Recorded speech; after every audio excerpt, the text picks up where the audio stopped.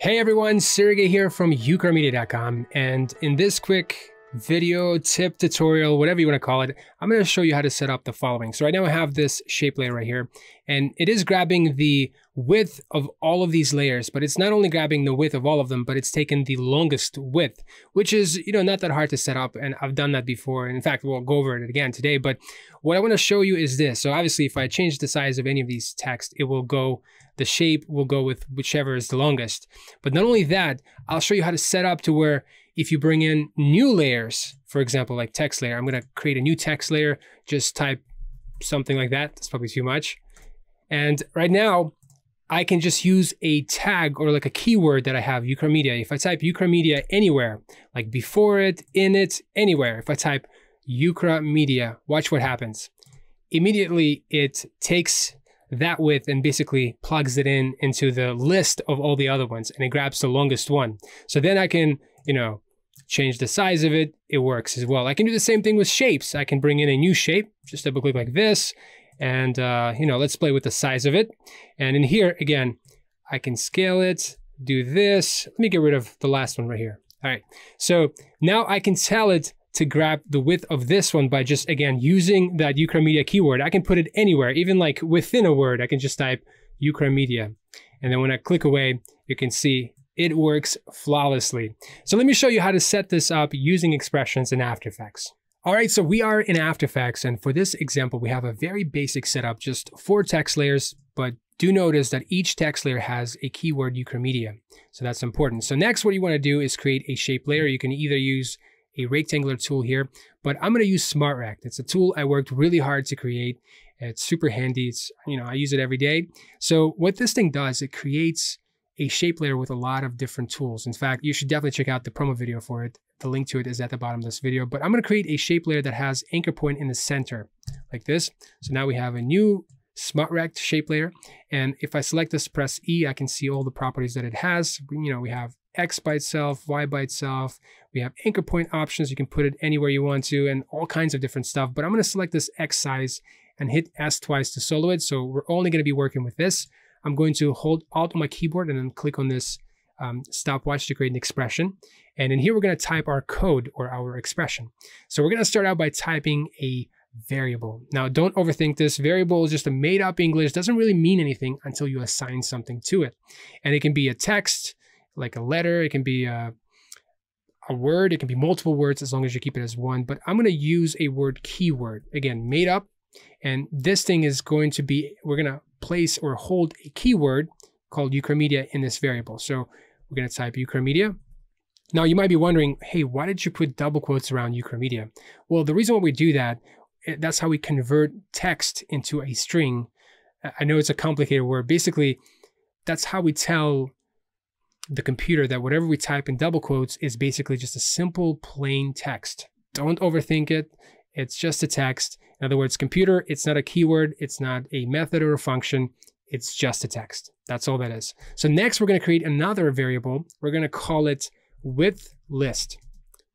And we're going to tell it to be an empty container or an empty array. Now, array is just a, I guess, coding language, just a, it's just a container. Think of it, it's just a, it's a container that holds different items, different lists, different things. You can hold numbers, you know, letters, text, all kinds of stuff, objects.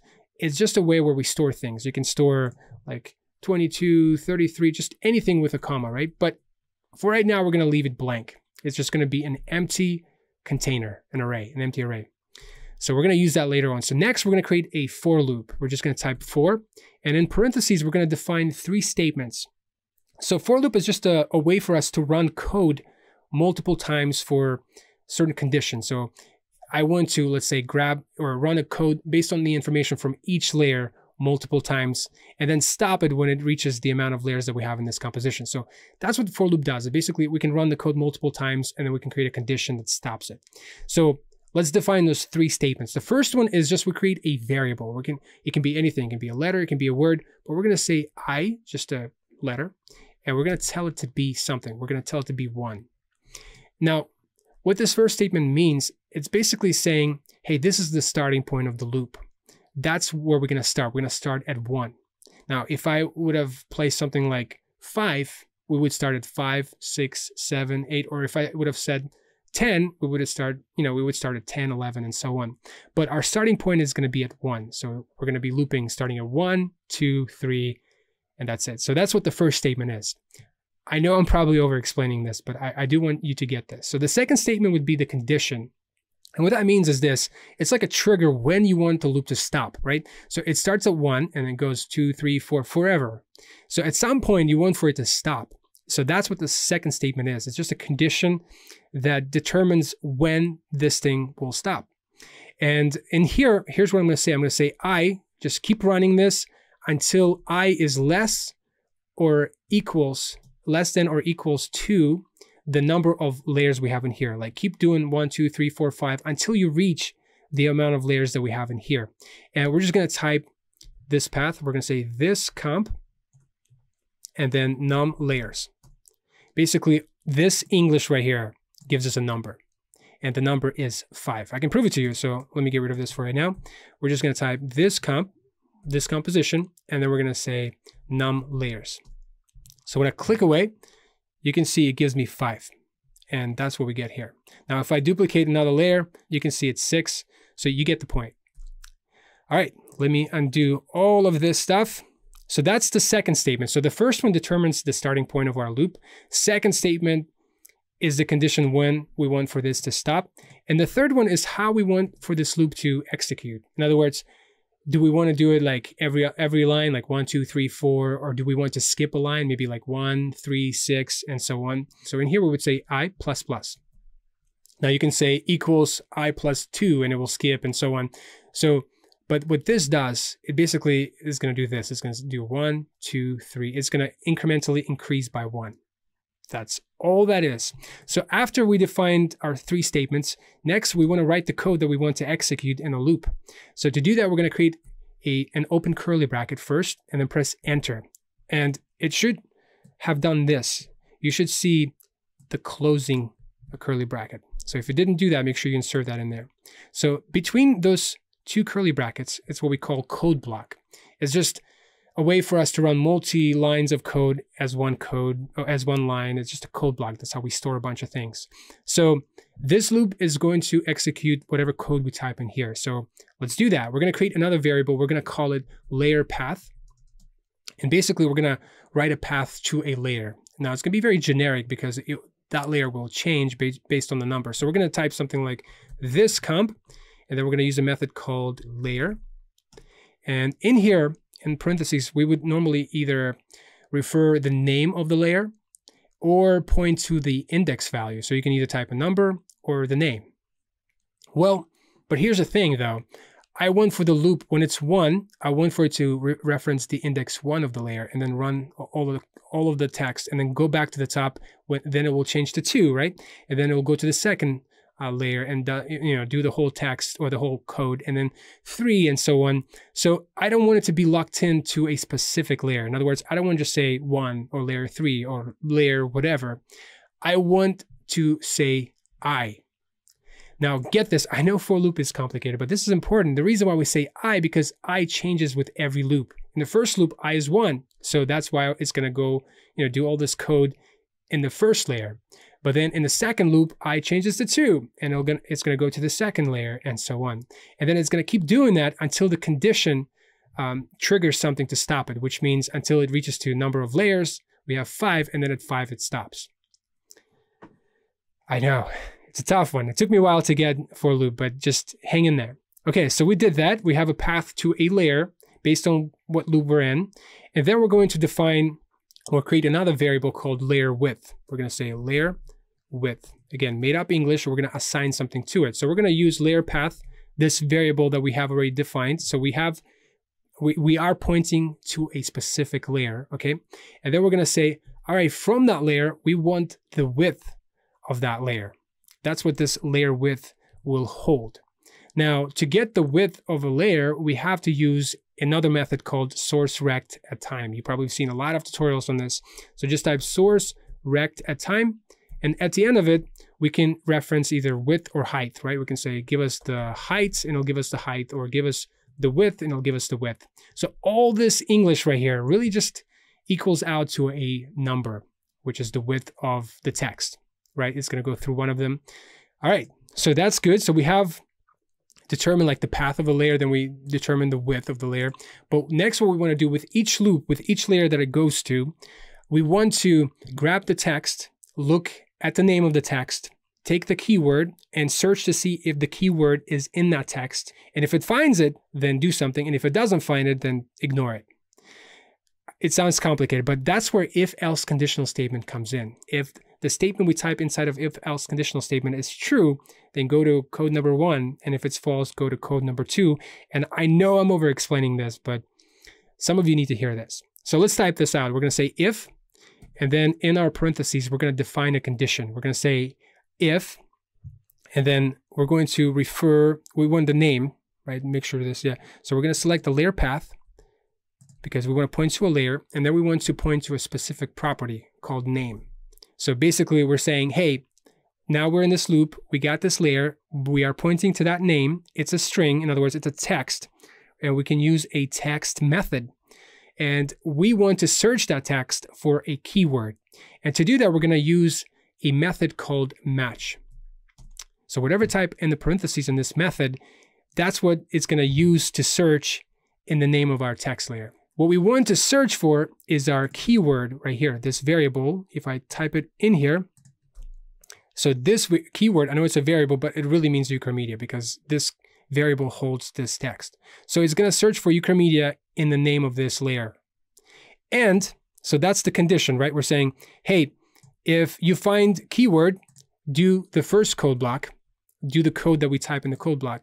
And if you don't find, we're going to say else, do the whatever we type in the second code block. Well, in this case, we're just going to leave it blank because we're, we do not want to do anything. And used to in the legacy uh, expressions or the uh, JavaScript engine, you didn't have to do else. You just you could have just left it at that. But in the new expression engine, you do have to be more specific. So we do have to include this. So that's all we're going to do for else. In other words, if this statement is true, go to the first uh, statement or the first code block and run it. And if it's false, go to the second. That's all that is. So what do we want to do? So if we do find a layer that has uh, the keyword that we're looking for, what do we want? Well, we want to grab the width of that layer because that's what we were interested in, right? And not only that, we want to grab the width and then we want to push it into this empty container width um, list that we created. Remember that? It's just an empty container that's going to hold whatever we, we push into it. So now that we determined that we found it, right, then we want to write a code that goes like this. We want to reference this width list, this variable, this container, and we're going to use another or use a method, it's an array method called push. Okay, and whatever we type in here, that's what's going to send into this container. And with each loop, it's going to keep adding on into that container. So it's going to go to the first text. As it does it have Ukramedia? Yes, and it'll send the width. The second text, does it have Ukramedia? Yes, it's going to send the width, and so on. And that's how it's going to do it. So, but we want to tell, we want to kind of define where's the width? What, what do we send into it? So we want to send this layer width into this container. So we're going to put it inside of this push. I know a lot of things happening here, but if you kind of rationalize this, you can kind of make sense of this. You know, it's making sense, right? So now that we've done all of this, okay, we should have, like if we run this code, we should have this list right here. It's going to give me an error right now because uh, the, the values won't match up. Like, yeah, it's okay. But we should have the list of every, the width of every layer. In fact, I'm going to use throw, just a way to debug. And you can see we'll list one, see one comma, two comma, three comma, comma, and so on. So it'll give us four, the, I mean, obviously gives a lot of decimals here, but those are the the width of every layer that we have that's, that says Ukramedia, right? If I create another one, you can see this changed to five, but if I change the name of it to something else, it will ignore it. It will go back to four. So I just want you to see this, that that this variable right here is just a list that contains all of those values of our of the width of every layer that has our keyword in it. Okay. Take a deep breath. So, well, that that's great and all that we have all of them. So, like, how is that helpful? Well, what we want to do, we want to use this list and grab the longest or the biggest value out of all of them. so that it always goes with the longest text. And to do that, we're going to use a method called or a function called math max.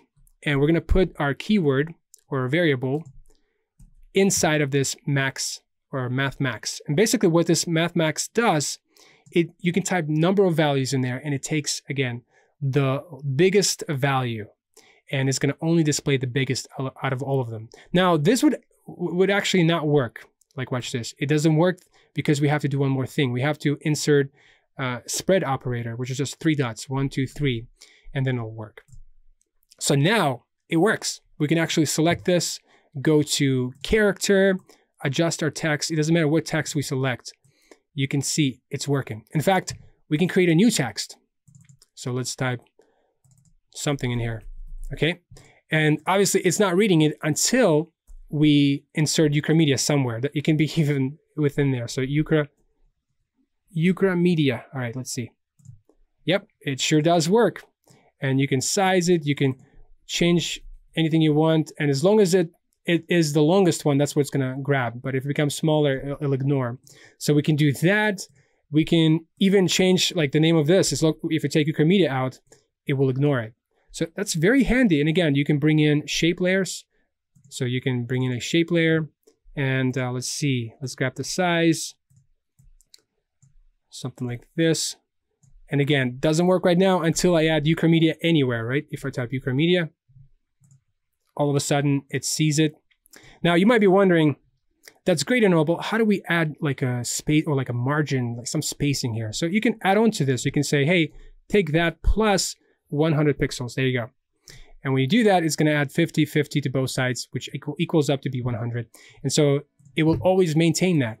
So that can come in very handy.